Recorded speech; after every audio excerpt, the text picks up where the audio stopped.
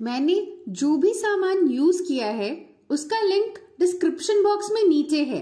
अगर आपको कोई सामान नहीं मिल रहा तो आप ऑनलाइन मंगा सकते हैं।